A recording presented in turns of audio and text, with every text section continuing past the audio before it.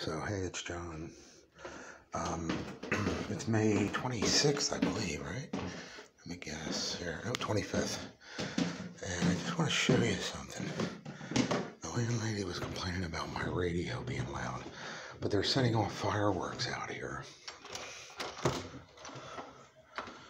I just want to show you. She's not home. She just left mad.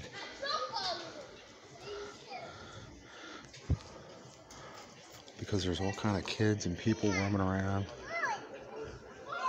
Up the block, you can see people. You can hear radios.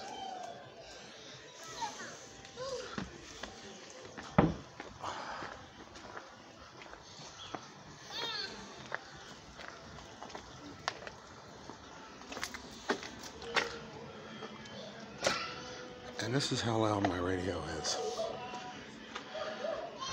And this is the window she says she wants to open because she wants to air her funk hole out. Now she could open that door, she can open the front door.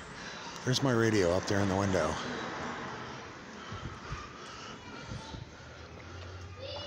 So yeah, you can barely hear it. But she woke me up at three in the morning.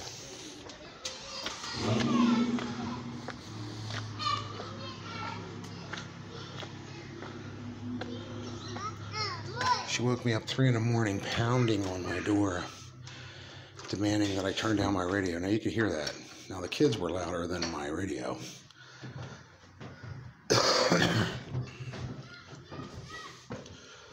and that's the volume, like I said, it's set on. I've had it out for the past two summers now. I've lived here two years. May 10th was two years. And it's out every summer. I've even got it in other videos. You can hear it playing in the background. This year, all of a sudden, she has a problem with it because she's looking for things and ways to get me out of here, throw me out. So, yeah. That's working, huh? They can't annoy you out of here, so they gotta trump something up on you. And both my windows are open. You can't hear that radio that loud. I keep it to the level where I could barely hear it. But uh, apparently it bothers her at night because she, she leaves her window open to eavesdrop. That's the problem. So there you go.